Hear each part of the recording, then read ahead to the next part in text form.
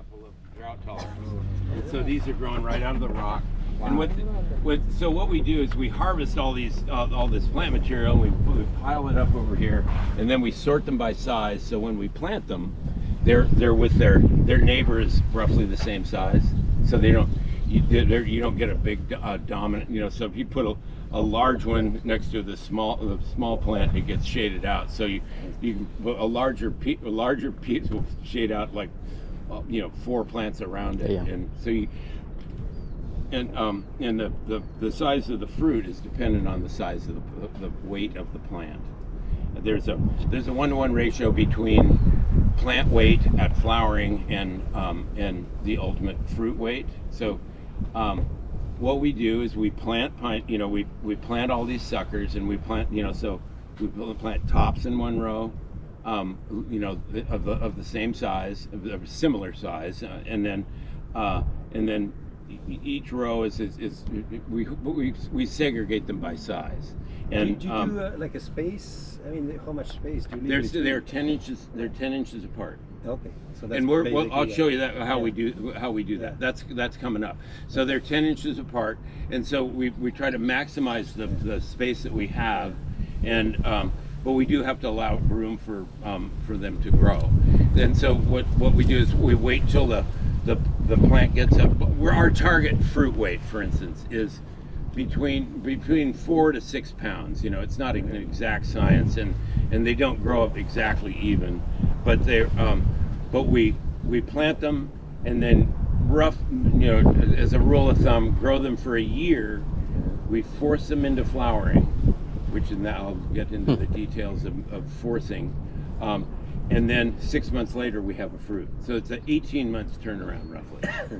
and um, and so we put on all the all the, all the or 90 percent of the fertilizer is put on foliar. Okay, so we have a um, we have a tractor over there that has a boom on the side of it that that hangs over three rows with nozzles. We have these these these uh, uh, fertilizers that are wa- completely water soluble. They're they're they're made specifically for um, uh, foliar applications, and they're they're formulated. In the the one great thing about pineapple is that um, uh, it, it it takes up nutrients directly through the leaf, whereas mo- most often most nutrients have to go.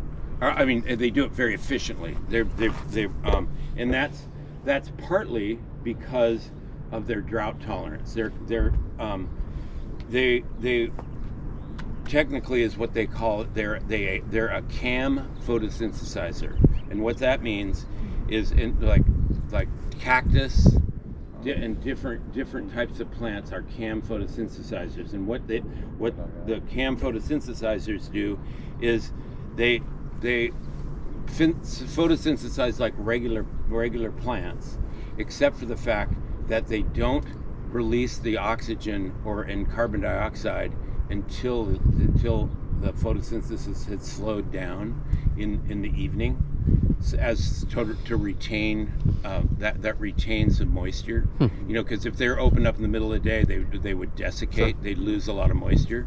And so they um uh so and so they, they then they have uh, uh the um, organelles on the plant surface called stomata, which are are they're for gas exchange, and so they open up, in, in as soon as this as soon as the sun starts to go down, you know, like four or five o'clock, it, it, it start starts to cool off.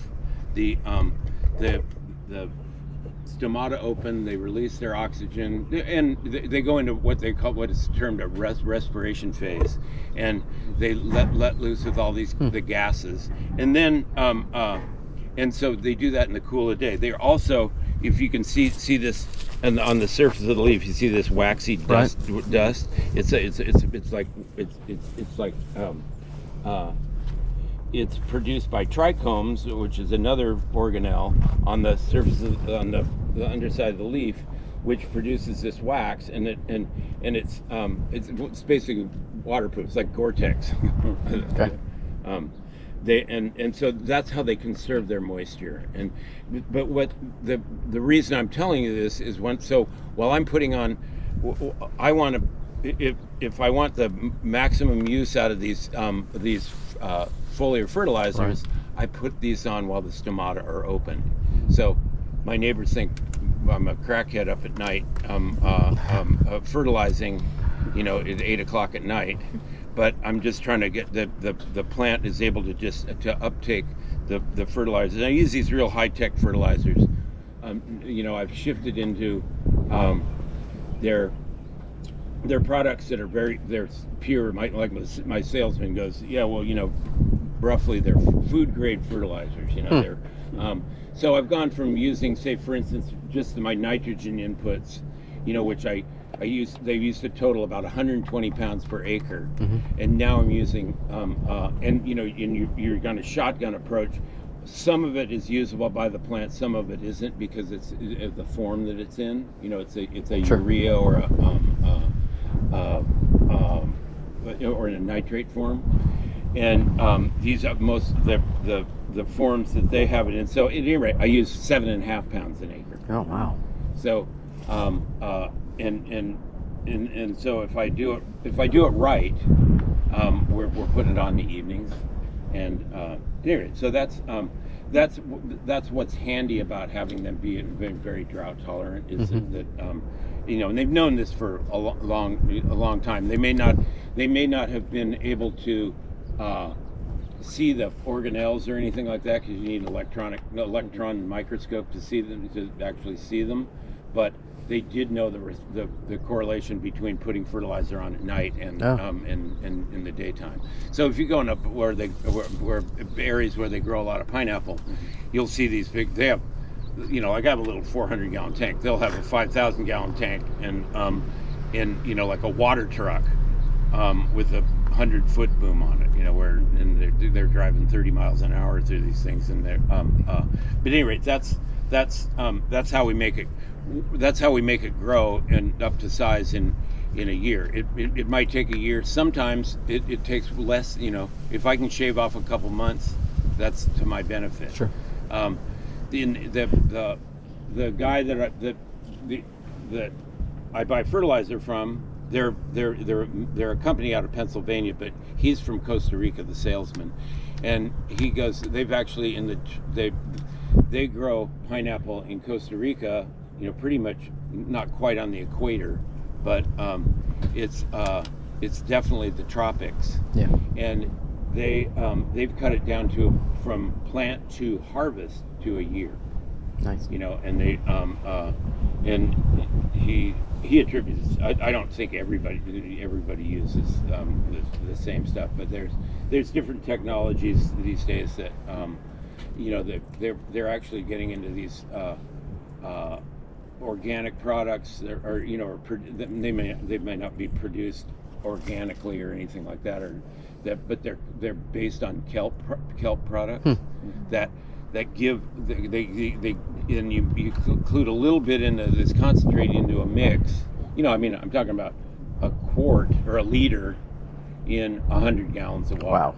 you know but it, it but it gives it, it, it has humic acid. It, it it kicks it keeps the plant growing all the time. So when you put the fertilizer on you you it goes you know you go when and so i went from putting fertilizer on for once a month to twice a month but you know with much smaller doses Yeah. and um, it's made a huge difference Cool. and um, uh, Is too much water can damage the pineapple then? the too much water on pineapple. I mentioned uh, the, the flower. I mentioned forcing pineapple. Okay, so the flowering of pineapple is dependent on um, uh, the presence of, of, of a, a very small amount of ethylene, which is is produced by the plant uh, when generally around this the the two solstices. You know, like um, uh, is that or are they solstice? No, um, uh, um, it's a that's a tongue twister.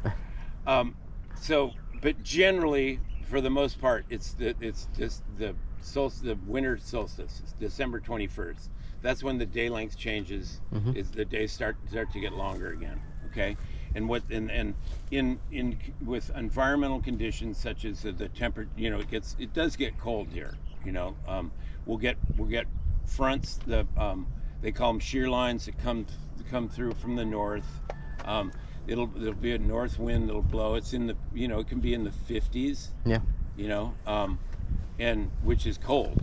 I mean, everybody around here is walking around like, and they're you're itching because the it, it's not only is cooler, was the, as the temperature drops, so is the humidity. Right. You know, and um, so it has a drying effect on the pineapple, especially with the wind blowing Yeah. over it. You know, so you get a wind blowing over three or four days. But at any rate, so the plant goes into the, with, and then with the day length ch- change, um, there it's, the plant basically goes. I mean, like the plant ha- plant has a brain. It probably has a bigger brain than me, but um, uh, but it goes um, it goes into into stress, and in, in that stress condition, it produces a minute amount of of ethylene. Mhm. I mean, like a hundredth of a part per million will cause pineapple to flower. Wow. Okay, and ethylene is is a plant growth regulator that's produced by plants. It's in it's in it's in ripening.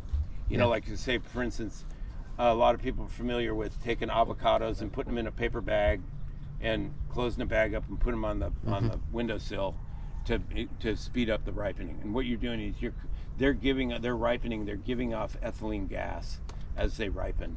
Um, and and you're concentrating the ethylene gas and the um, uh, and the and you're speeding up the ripening. If you really want to do it a little more, or you want to speed it up more, you put a ripe banana in Mhm. and um, you know a, a banana that's gone yellow to black is giving off a lot of ethylene. Um, in the flowering process, it, it produces a little bit of ethylene, and the um, and um, and that initiates flowering. Okay, so when I'm, I'm living on a little island, I have a limited um, uh, amount of buyers. You know, I sell at the farmers market. I sell at the um, uh, I, sell to some of the little natural food stores. I actually sell to Whole Foods on Oahu and stuff like and and um, uh, I'll give you a little, some the real the real details. But what I can't I don't want to produce any more than I can sell because I did I did actually go to college and I started in business administration with a um, uh, concentration in economics. And the one thing I remembered from economics was the the supply and demand curve and the price. And um, when you have when, you, when you have an excess of product, the the the buyer is going to beat you down on price Sure. you know, or you're going to eat it yourself. and so, um, I want to even out my production. So if I waited for this, you know, like, um, so if it's flowering in December around Christmas time, six months later is June and July, Mhm. right? And uh, if I have all the fruit then, and then none the rest of the year, I'm out of business. Right. And so these, we just finished harvesting this. This is one that I, I am able, I have a product that um, um, when mixed with water and um, I, I put a light, I put it in a backpack sprayer and, and walk along and do it with a, just put a light mist on and it's enough to initiate flowering. Because like I said, it only takes a hundredth of a part per million per plant to to make that happen. And so in in in so it's roughly that concentration. And I mean, you when I'm walking by, you can barely see it. You can see the little mist hit hit the leaves, and that's enough. That's enough. And just walk, you know, walk through it, you know, at a, at a, at a pace like this, walking through. And um, so I can, and I'll, I'll I'll do three rows, for instance. I'll, I'll do three rows or four rows, and then I'll do another four rows uh, ten days later and um, and then ten days later, ten days later, and uh, and then And so are you deciding by maturity, by the size of the plant. size of the plant? Yeah. So there's times where I go do one row here, one row here. It's like Okay. like a schizophrenic did it, but um, which I've been accused of. um, but I want to get I, I want to have pineapple that is of, of the right size. So like Okay. So I mean, not too uh, you know now we're going over the whole farm because what we have is the stuff that I did on that I forced, and we have there's a actually pineapple growers have a name for it. It's called precocious flowering. The stuff that actually flowered in I mean the flower flowering was initiated on its own Right. in in December and in January, and it's so it's all coming due right now.